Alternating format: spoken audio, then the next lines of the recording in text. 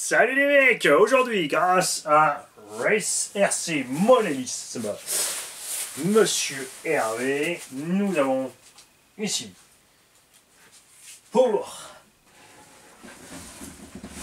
un de mes poteaux le Losi Super Bajaré 2 version Brenton Racing. Évidemment, moi j'ai le King, donc pour lui, on a pris l'autre version, le jaune. C'est beau quand même. Alors, souvent on me pose la question, Arma Mojave, UDR ou Super Bajaret 2.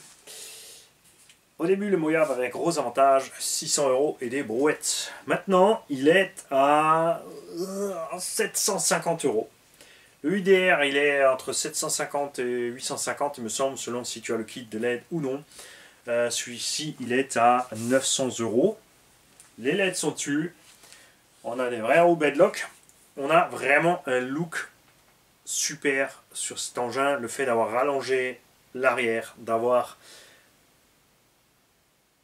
changé la carrosserie, a été vraiment une super idée de la part de Losi.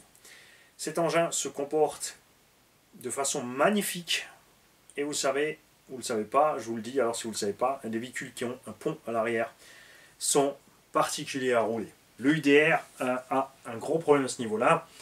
Très dur de le garder en équilibre. Quand ça glisse, pas de problème. Quand tu es dans l'herbe, ça devient chaud. faut savoir piloter ces engins. Ça se pilote comme un Monster Truck. faut piler avant le virage. faut que l'arrière puisse délester, que tu puisses perdre l'adhérence à l'arrière. Tu braques un tout petit peu tu réaccélères, l'engin se met à glisser de l'arrière, et là, tu mets ta direction où tu veux, tu anticipes ton virage, parce qu'après, il va survirer. C'est comme ça que ça se pilote, ces trucs-là, et c'est ce qui nous éclate. Suspension sortie de la boîte, extrêmement molle. Mais, pour un comportement agréable et réaliste, ça fait évidemment super bien le travail. Je l'ai laissé le mien totalement complètement d'origine, même quand je roule des batteries un peu plus lourdes. C'est pas grave, ça se passe vraiment à merveille. Ce qu'on a reproché à Lozi pour un engin aussi cher, c'est que tout ça, c'est du sticker. Et que tous ces stickers sont mal appliqués. Ça peut être un détail, mais c'est un engin à 900 euros.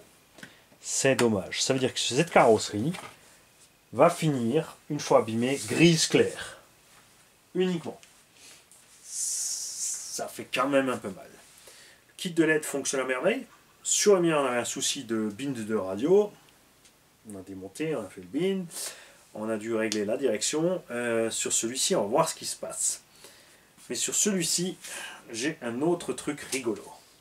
Ces derniers temps, on a constaté, euh, Horizon B, Obao, euh, tout le monde nous fait des blagues euh, quand il nous livre les voitures. Serpent les câbles coincés, etc. Et là, je vais vous montrer quelque chose que je viens d'avoir de l'autre côté. Je ne sais pas si je vais pouvoir vous montrer facilement la caméra. Regarde la roue comme elle est positionnée. Hein. Elle a un léger pincement. De ce côté, on a une légère ouverture. Le bras de pont à l'arrière sur la sortie de pont, vous avez une pièce que vous pouvez changer. Vous pouvez avoir soit 0 degré à l'arrière, soit, euh, je crois, 1 ou 2 degrés de pincement. Cette pièce est montée à l'envers. Si tu ne me crois pas, regarde là l'espace entre la roue et le pont, tu vois Et regarde ici l'espace. Ils ont monté la sortie de pont à l'envers. Quelqu'un qui n'a pas l'œil ou qui n'a pas l'habitude va sortir et va se retrouver avec un véhicule inconduisible et bizarre de l'arrière. Donc nous, évidemment, on va se charger de ça. C'est pour ça que l'engin est arrivé ici. On m'a dit, attends, je te fais livrer chez toi, mon kiki, parce que euh, tu vas me le régler. Hein. Je veux pas, moi, m'énerver à préparer la machine avant d'aller rouler. Je vais te laisser faire toi. Et je crois bien qu'il a bien fait. Hein? Parce que là, on a clairement un truc monté à l'envers. Batterie accessible par en dessous. On va pas revenir sur tous les points Pour ça, il y a l'unboxing du SBR2 King Shocks là-bas, déjà en ligne. Ce qu'on va faire maintenant, c'est précisément brancher une paire de batteries dans le bestiau. Alors, où est ma boîte à batterie Alors, c'est dommage que dans ce véhicule, vu la taille qu'il fait, on ne puisse pas rentrer euh, de batterie plus grande. D'un autre côté, la technologie des batteries a évolué. On peut mettre des batteries Hobbit Center 9000 là-dedans. Ça rentre. Je vais d'ailleurs vous faire la démo. Évidemment, il faudra penser à la commande, à demander s'il veut bien les faire en EC5, ce qui ne voudra peut-être pas. Il a eu la bonne idée de mettre les anti-spark dessus. Mais Horizon 8 maintenant fonctionne avec du IC5, EC5 et non plus avec du XT90. Regarde, les batteries Hobbit Center rentrent droit dans le nez à l'intérieur de ce petit bijou. Parce que c'est ce que c'est. Une fois que tu as tout réglé, cet engin est un petit bijou. Tu vois, ça rentre tranquille. On peut fermer la trappe sans le moindre effort. No problemo. Pour ceux qui se posaient la question. Donc évidemment, les euh, VS Line rentrent aussi. À 8 Center, ils ont sorti un 50 sensé à 98 euros. Ça suffit large. Sur des combos vitesse, de toute façon, genre, tu tires pas tellement. Euh, parce que 8 Center font de la grosse échelle. Chez Vartel, tu les as en 100 ou 120C. Parce que lui, il pense compétition 1 8e 4S. Donc là-bas, on tire méchamment du jus sur les lipos. Des pics à 200-250 ampères, les varios à 8ème compète sont de plus en plus balèzes à cause de ça. Nous, nous allons équiper cet engin de Bashing 5050C parce que ces batteries sont des poids plumes. On a à peine 800 grammes de batterie pour les deux.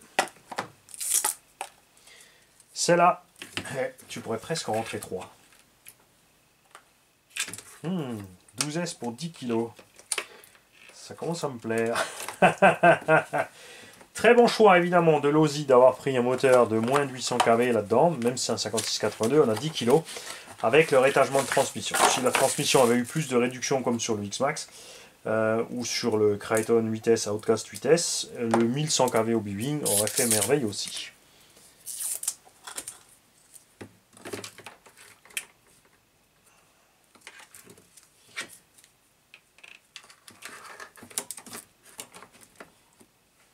Juste pour rire. Paniquez pas.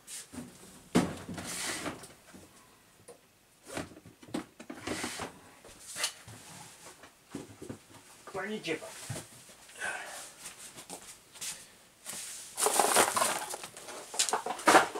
On va mettre tout ça de côté, bougez pas.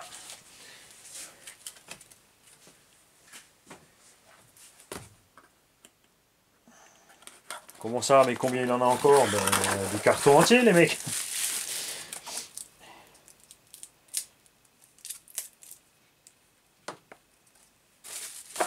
Moi, j'achète par carton de 10. On fait plus de détails. De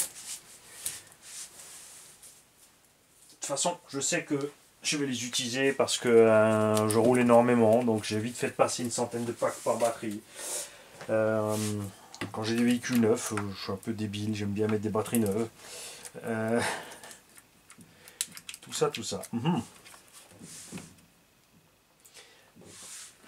Euh, je peux faire du 12S.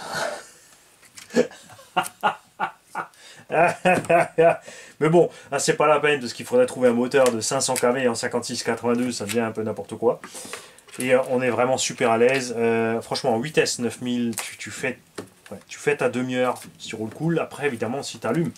Il faut savoir que cet engin sorti de la boîte, eh bien, il fait les 90 km/h, ce qui est un peu fou quand même. Enfin, un bon 80-90. Il faudrait qu'on mesure, hein, mais franchement, vous l'avez vu sur les vidéos, ça traîne vraiment pas la patte. Hein. Par contre, du coup, évidemment, quand tu appuies dessus, en 7700 mAh, avec cette vitesse-là, j'ai fait 15 minutes. En y allant vraiment fort.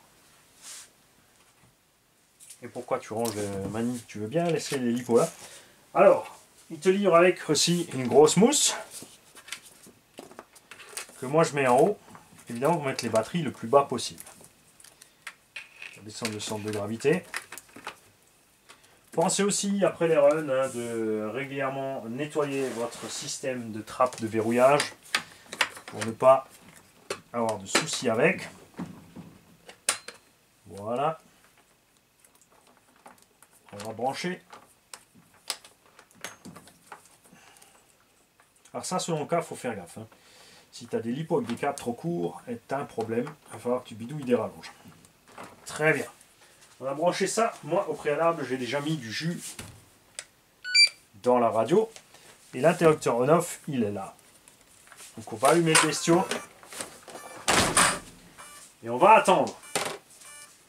Parce qu'il peut arriver que ces nouveaux récepteurs Spectrum mettent une minute entière à réagir.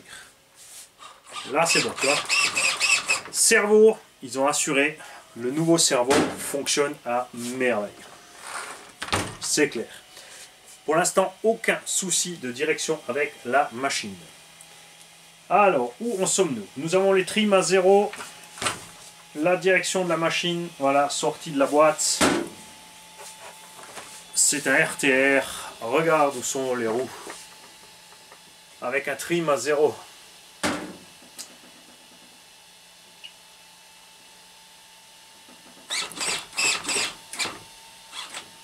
Voilà.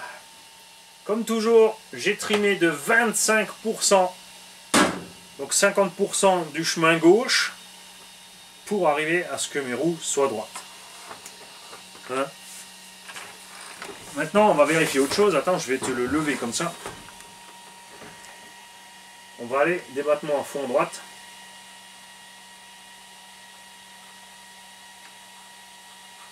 Alors, j'arrive en butée. Maintenant, il me reste 2-3 mm sur la direction où on entend le cerveau forcé. Et à droite, et eh ben, pardon, virage à gauche. En tournant à gauche, je n'arrive pas à en buter, alors qu'en allant à droite, je suis en buté. Et pas à gauche. Je vais donc aller me charger la notice de cette radio, puisque moi je l'ai esquivé, j'ai sorti la radio. Mais là, évidemment, le pilote de la machine va se servir de cette radio. Et je vais donc pour lui régler cette radio.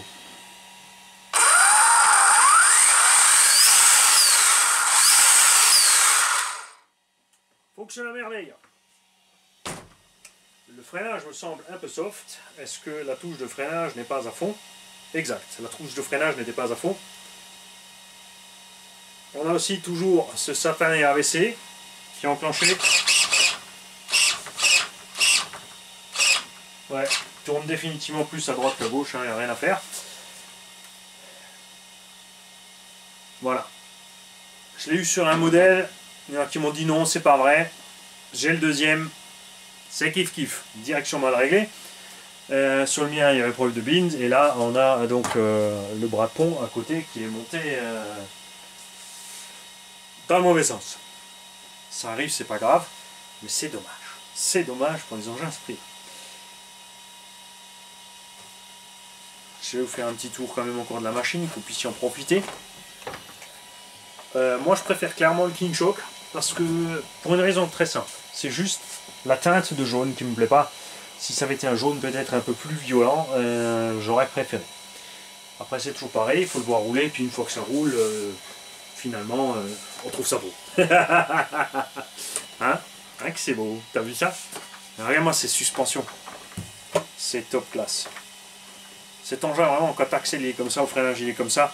Quand tu prends un virage, tu as le cul qui part. C'est l'éclate. Et donc je reviens à ce que je disais, Moyave UDR ou SBR2. Quand tu me demandes, eh ben moi je dis SBR2. Autant le SBR1, j'en voulais pas du tout. Le SBR2, ça me plaît. On a un bon cerveau de direction, on a un bon combo, on a une vitesse pour une dizaine de kilos. On a un bon rapport poids-puissance. Euh, si tu roules fort, évidemment, tu bouffes les batteries. Si tu roules normal, si tu te brides là à 75%, tu as largement cette patate. Et comme dit, avec des batteries comme on a maintenant, des 8 ou 9000, tu fais tes 30 minutes. Avec les 5000, euh, tu fais un quart d'heure. Tu arrives à tirer même 20 minutes avec euh, les 5000 si tu roules et tu profites du look maquette de la bestiole. Je vais donc m'occuper de ce bras de pont. Je vais m'occuper euh, du réglage de la radio. Est-ce qu'il y a des moyens de régler les butées de direction, droite, gauche, etc. je vais voir s'il y a peut-être un subtrim, ça j'en suis pas sûr.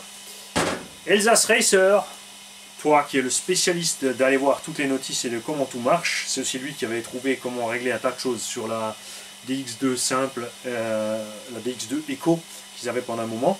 Si entre temps, parce que je sais que tu es curieux, tu es allé voir comment régler cette euh, Spectrum, euh, n'hésite pas évidemment à le partager avec tout le monde, on compte sur toi. Ouais, c'est la fouine de la chaîne. C'est lui qui s'occupe de tout ça. C'est le département Je fouine dans les notices. Salut les mecs, merci Hervé.